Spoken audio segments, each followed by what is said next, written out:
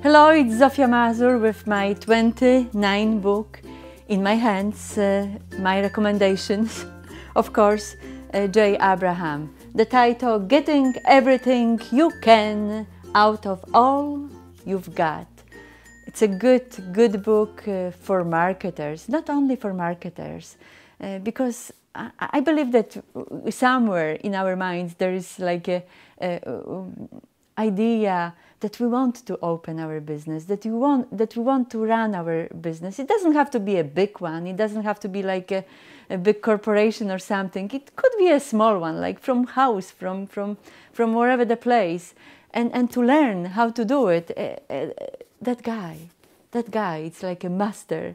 And I, and I love uh, um, uh, his suggestions. And even though he wrote that book some time ago, it's still relevant to this world. It's still relevant to this time. So go on Amazon, go on Amazon and order for your personal growth and for your personal library and put that book in your business section uh, because I recommend classics and I also recommend uh, recommend book uh, for the business section. Uh, they go beautifully together. Uh, then you going to become like a a classical businessman. And you know you will know what to do. You will you will when you will have idea you will approach from the best position ever. Uh, today also i would like to talk more about find out where are you right now? Find out about yourself.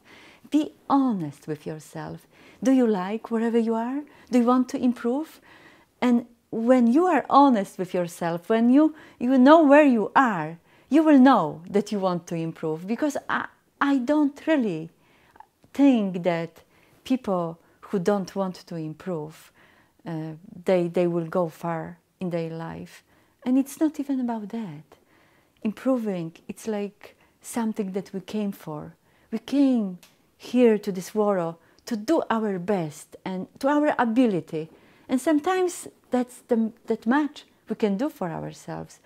But don't fool yourself. Just discover and, and, and be honest where you are and where you want to go. And do as much as you can.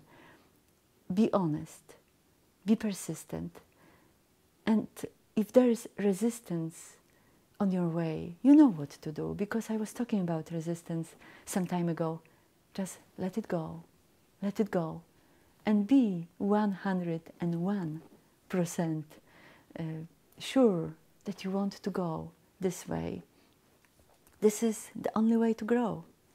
This is the only way to build our beautiful minds and our beautiful life as well.